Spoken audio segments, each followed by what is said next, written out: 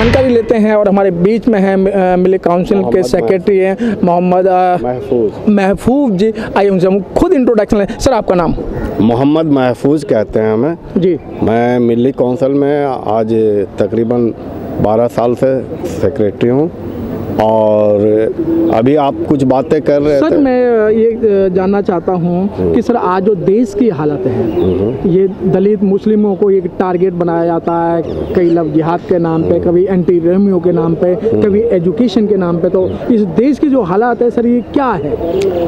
देश के हालात तो मोदी जी ने बिल्कुल ही तबाह और बर्बाद कर दिया। जो हमारा गंगा जमनी तहजीब था उसको इन्होंने दफन कर दिया। ये इलेक्शन जीते थे कि मैं बेरोज़गारी दूर करूँगा, हर साल दो करोड़ नौजवानों को रोज़गार दूँगा और जो है इंडिया में कोई करप्शन नहीं होगा।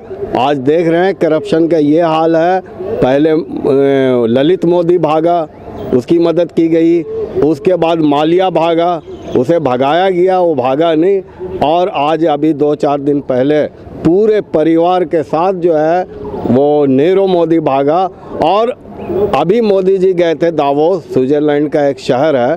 वहाँ वो नेहरू मोदी मोदी जी के साथ चाय पी रहे थे। तो ये कहते हैं कि कैशलेस इंडिया बनाएँगे डिजिटल इंडिया बनाएँगे। ये कैशलेस नहीं बना रहे हैं। ये ये दलित लेस इंडिया बना रहे हैं किसान लेस इंडिया बना रहे हैं माइनॉरिटी लेस इंडिया बना रहे हैं। जी। हाँ, तो हमें ये कहना है कि इस तरह तो देश टूट जाएगा। जो इनकी नीत- है क्या गांधी जी गलत थे? अब ये ना, नाथूराम गौडसे को ला रहे हैं उनकी मंदिर बना रहे हैं। अरे भैया खूब बनाओ लेकिन देश को तो बचाओ। आज को दे, देश लूट लूट के भाग रहा है। तुम कहते हम चौकीदार हैं चौकीदार खड़ा है। और चोर भाग रहा तो भगाया जा रहा है ना? आरएसएस के जो प्रेसिडेंट हैं मोहन भागवत जी कहते हैं कि जी हम तीन दिन के अंदर फोर्स खड़ी कर देंगे। जो हमारे यहाँ की जो फोर्स है क्या उस पर इनको विश्वास हट चुका है? ये अपनी फोर्स क्यों लाना चाहते हैं? ये फोर्स लाना चाहते हैं, अपना आरएसएस का एजेंडा लागू करने के लिए, मनु स्मृति लागू करने के लिए। जो जो बाबा साहेब अंबेडकर ने कॉन्स्टिट्यूशन दिया, उसको ये लागू ना उस समय करने देना चाहते थे, ना उसको ये मानते हैं। डॉक्टर राजेंद्र प्रसाद ने माना, सारे लोगों ने माना गांधी जी ने माना, पूरे भारत ने उसको माना। और हमें जो कॉन्स्टिट्यूशन मिला, वो दुनिया का एक खूबसूरत और बेहतरीन कॉन्स्टिट्यूशन है।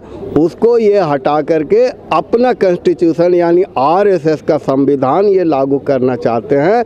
ये फोर्स की इतनी है, इन्हें ज़रूरत तो ये पाकिस्तान के बॉर्डर पे भेजें, चाइना के बॉर्डर पे भेजें, इनके स्वयं सेवक देश रक्षक तो कुछ करें। देश की तो कुछ रक्षा करें। वहाँ ज़रूरत है ना। आज चाइना हमारे मुल्क के अंदर हमारे हज़ारों हज़ार वर्ग किलोमीटर पे घुसा हुआ है। इनके हाँ इनके स्वयं सेवक वहाँ जाए ना मैं भी चलता हूँ उनके साथ। और आरएसएस के नेताओं को एक एक लड़के को भेजना चाहिए बॉर्डर पे। जी। हैं मरते हैं गरीब जवान और उनका ये मज़ाक उड़ाते हैं। अभी इनके एक मंत्री का बयान आया कि फौज में क्यों आता है? पैसे देते हैं, रोज़ी मर, मरते हैं फौज। मतलब इस तरह से उसका मॉरल गिराया जाता है। समझे? पाकिस्तान को, आईएसआई को जितने राज बेचने वाले हैं 90 परसेंट जो है, यही लोग हैं। धन्यवाद सर